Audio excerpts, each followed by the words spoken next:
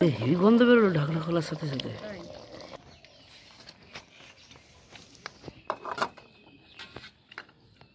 সত্যি নমস্কার গুড্ডি ফ্যামিলি ব্লগে আপনাদের সকলকে স্বাগত জানাই। আজকে বানাবো হচ্ছে চিকেন এই চিকেনটা আজকে একটু অন্যরকমভাবে বানাবো। চিকেন কারি হবে আর হবে মেথি শাক ভাজা। কীভাবে বানাবো আপনাদেরকে দেখাচ্ছি। আগে তবে কাটা হয়ে গেছে। এখানে কেটে রেখেছি হচ্ছে বেরেস্তার যেভাবে কাটে পেঁয়াজ, সেভাবে কেটেছি। রসুন, আদা, লঙ্কা কাটা হয়ে গেছে, এখানে আলু কাটছি। কেটে নিই, কেটে নিয়ে আপনাদের সঙ্গে শেয়ার করব চিকেনটা নুন জ্বালিয়ে নিয়েছি ভাতটা বসিয়ে মশলাটা করে নেব।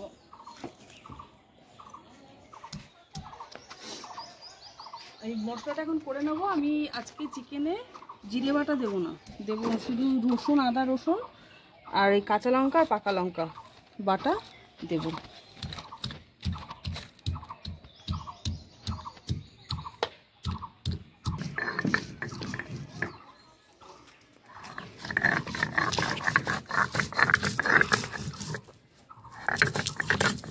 মশলা বাটা হয়ে গেছে, এবার তুলে নেব।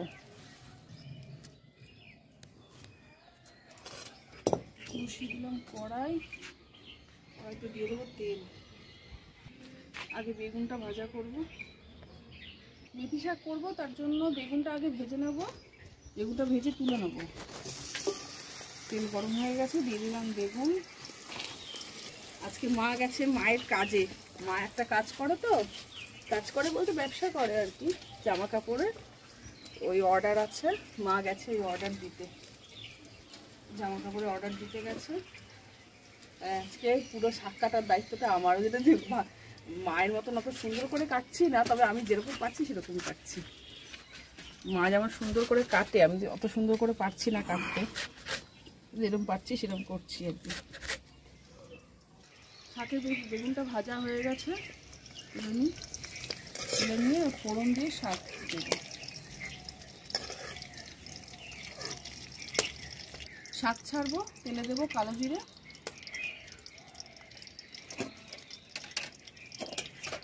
কালো জিরে ভাজা ভাজা হয়ে গেছে, আর শাকটা ছেড়ে দেবো।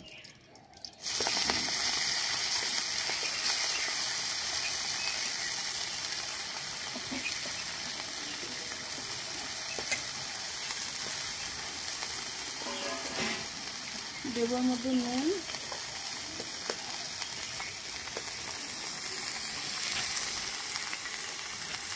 হলুদ।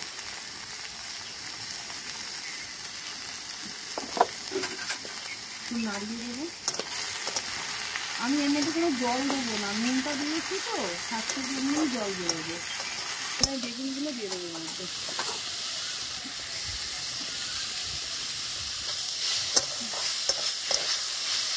ভাত ফুটছে। দেখুন, আমার বেশি শাক ভাজা হয়ে গেল। জল না দিয়ে দেখুন, কইটুকু হয়ে গেল নুন একটু। নুন, শুধু নুন দিয়ে।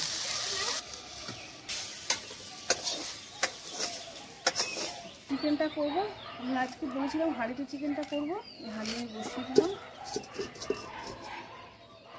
দিয়ে দেবো তেল চিকেনটা করার জন্য। আমি চিকেনটা আজকে বেরেস্তা করে করব। আমি একবারই তেলটা দিয়ে দেবো।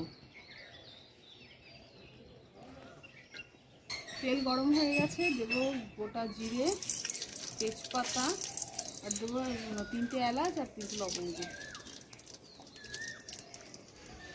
পেঁয়াজটা দিয়ে দেবো।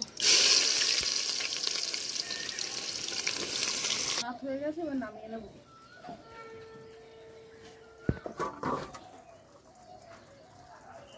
পেঁয়াজটা লাল লাল করে ভাজছি, তার পাশে আমি চিকেনটাকে একটু ভেজে নেব। এর মধ্যে একটু চিকেনের মধ্যে একটু নুন আর হলুদ মাখিয়ে নিয়েছিলাম। দিয়ে দেবো মধ্যে।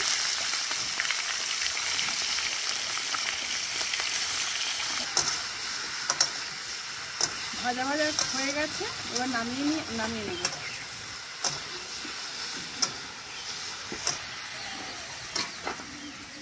ভাজা ভাজা হয়ে গেছে, পেঁয়াজটা এবার জল দিয়ে দেবো।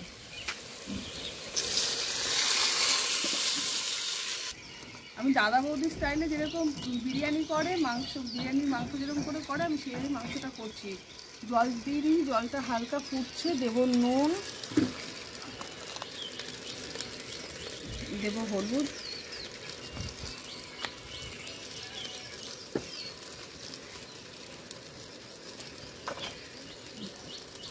একটু নাড়িয়ে দেবো। জলটা ফুটে গেছে। এবারে আমি আদা রসুনটা দিয়ে দেবো। আদা রসুন, কাঁচা লঙ্কা আর পাকা লঙ্কা যেটা বাতা ছিল সেটা দিয়ে দেবো। আলুগুলো এই পেঁয়াজের রসের জলেই সেদ্ধ করব। জল ফুটে গেছে, দেবো আলু।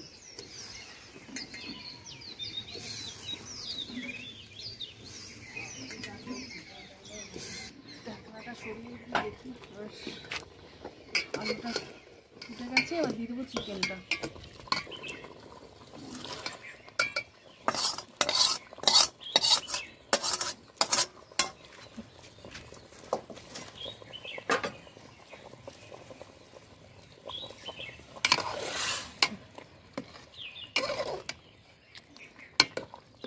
দিয়ে দিলাম, এবার সেদ্ধ হোক, চাপা দিয়ে দিলাম। স্যালাডটা কেটে নিই। মাংসটা ওদিকে হচ্ছে। মাংসটা হয়ে গেলেই খাওয়া শুরু হবে।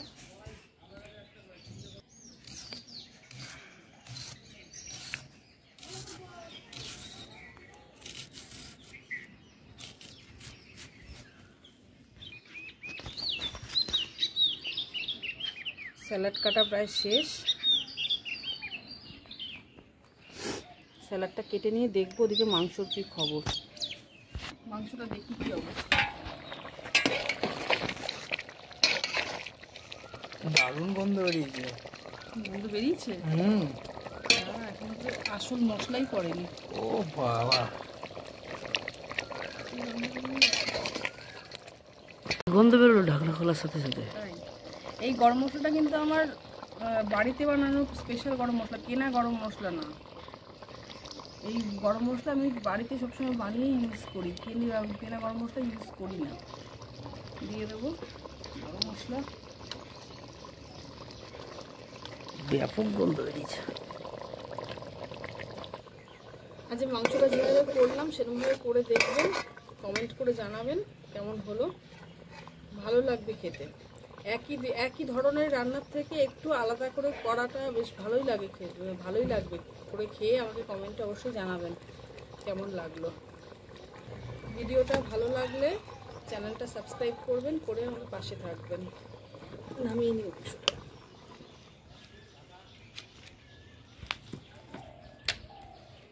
বেড়ে বেড়ে দিই বাটিতে।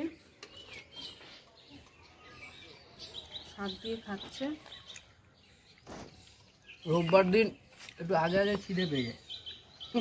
রোববারে স্পেশাল আবার আজকে স্পেশাল কি চিকেন আছে? দেখি। দাদা বৌদি স্টাইলে নাকি যেরকম বিরিয়ানি হয় ওরকমভাবে নাকি চিকেন হলো। খেয়ে দেখি কীরকম শাক দিয়ে খাওয়া হয়ে গেল। মাংস দিয়ে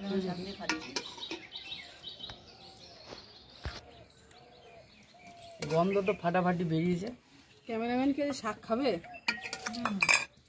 গন্ধ ফাটাফাটি বেরিয়েছে। মাংস তো দেখে বেশ হেভি লাগছে একদম এক পিস